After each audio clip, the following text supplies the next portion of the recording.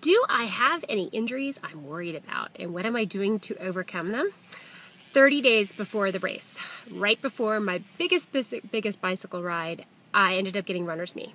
I couldn't lift my leg up, I couldn't walk on it, and I thought I was not going to Kona. So in that moment right then and there, I was extremely anxious. And when Paula told me to dial it back and when my PT told me to stop running and just focus on the swimming and even dial back the biking, um, I was hard because I thought I was throwing it all away. But fortunately, I was smart enough to listen to my coach, my PT, and my teammates, and now I'm pretty much fully recovered. I am actually going out for a run today, and I'm really looking forward to Kona. So, um, I guess to overcome it, I listened to the advice of good people. So, there we go. Woohoo! Feel good. Okay, so which leg of the race am I most anxious about? That would be the swim.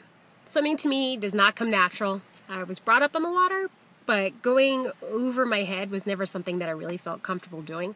It's only in recent years that, because of triathlon, that I've started doing it.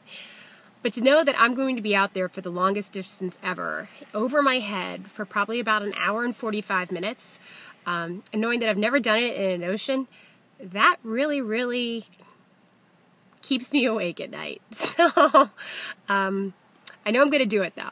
So when I get that leg of the race over, a major weight will be taken off my shoulders and I will feel right then and there that I've already accomplished something absolutely amazing. How do I feel going into the Ironman World Championship? I will say nervously excited. Um, it's going to be the biggest thing I've ever taken on. So for that, I'm nervous, but knowing that I'm going to be doing it and seeing my family and reconnecting with my teammates, uh, Heinz and Josh and Eric, and seeing Paula again, that's what makes me so excited to take it on. And um, I can't believe it. It's only like 13 days away till we leave for Hawaii. So, nervously excited. Here I come.